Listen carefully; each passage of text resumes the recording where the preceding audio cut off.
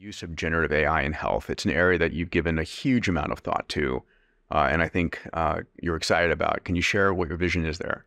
I got into AI 13 years ago. Gosh, I was a programmer before for 23 years, building large scale systems as a hedge fund manager and other things.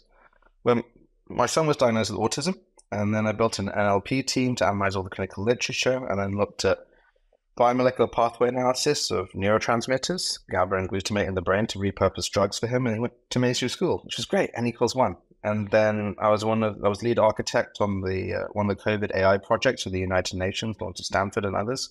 And then because I didn't get the technology, I was like, oh, we've got to build it ourselves. But what is health? You know, again, I think we've had this discussion a lot. Healthcare is sick care we don't have all the information that we should have at our fingertips. Health assumes ergodicity. A thousand tosses of the coin is the same as a, th- a coin tossed a thousand times, but we are all individual. And across the world, there are amazing data sets that could be better because when you write down a clinical trial or your own kind of experiences, you lose so much information. At the same time, you don't have all the information on cancer, autism, multiple sclerosis at your fingertips in a comprehensive, authoritative, and up to date way. So when I look at the health operating system, we're going to build a GPT-4 open for cancer. And it's going to mean that nobody is alone again on that journey and loses that agency because they know comprehensive authority to update all their knowledge. But AI models today already outperform human doctors on empathy. So they're not going to be alone on that anymore. Yeah, can I just double click on what you just said? Because it's really important. I have so many people because of my role as chairman of Fountain Life who reach out and say, I just got diagnosed with this cancer, or my brother, or my sister, or my wife, and and there is they're left with this decimating news, and they're left googling. Um, but a model that's able to have the most cutting edge information and then incorporate all their medical data and give them advice in empathic fashion how far is that? See, a couple of years if we focus, maybe even like next year.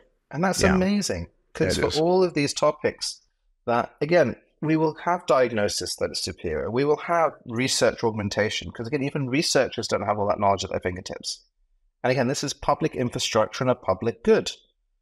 You know, from primary care all the way through to that. What is the open infrastructure of the future where this technology can come again to your own data as well? You have uh, things like MELLODDY and other things around homomorphic encryption, federated learning, that they were trying to figure out how to preserve privacy. We can run a language model on a smartphone right now mm-hmm. that can analyze all your data and then just feed back stuff to a global collective. But people are people. So when I look at healthcare, I see amazing data sets that we can activate by taking the models to the data, an infrastructure that we can build, like we had CheXagent with Stanford, the top X-ray radiology model to build good standard things across the entire gamut of healthcare. So we can actually get to healthcare versus sick care. So we can make it so that everyone is empowered to make the best decisions, either as experts or individuals, and make it so nobody is alone again, as well as increasing the data quality that will then feed better models that will then save lives, save suffering, and again, increase our potential. Like you've got a long book behind you, right? Why don't you have all the latest knowledge of longevity at your fingertips at a GPT-4 level right now? That will happen over the next year. We will launch Stable Health or whatever decide to call it, and there will be the smartest people in each of these areas working on that. So again, you're never alone. Like, it doesn't matter if you're if you're worth hundred billion dollars and your kid has autism, ASD. There's no cure, there's no treatment, there's nothing. Doesn't matter how rich you are.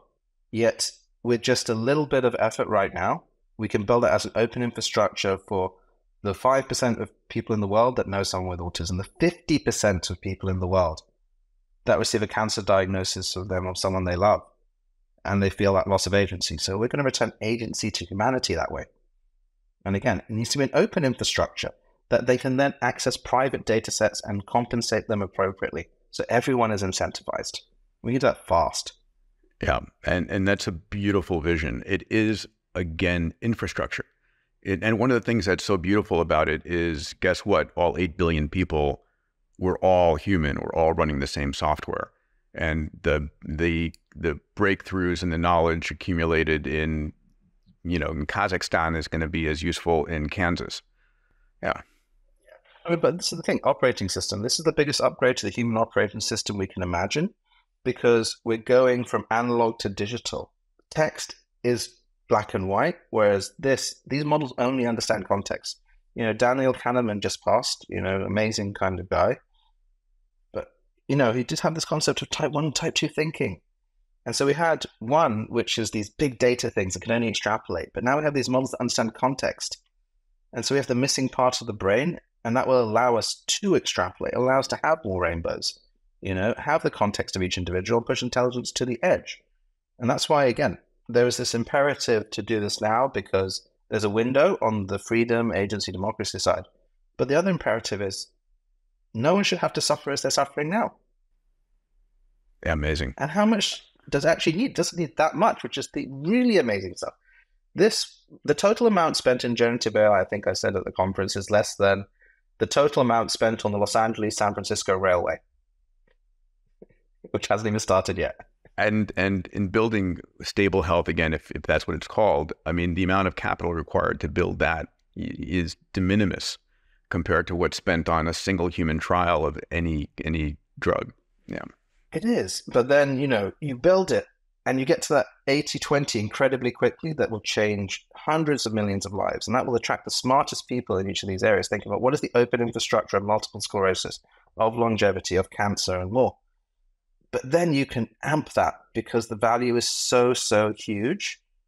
And you, I hope to build a trusted organization as part of this whole human operating system upgrade. You know, that's what I want to build. I want to build human OS or at least catalyze it. Again, I don't want to run or control or own anything. I want to figure out how to give back that control. Because who should decide what cancer knowledge goes in there? Who should decide what education, etc.?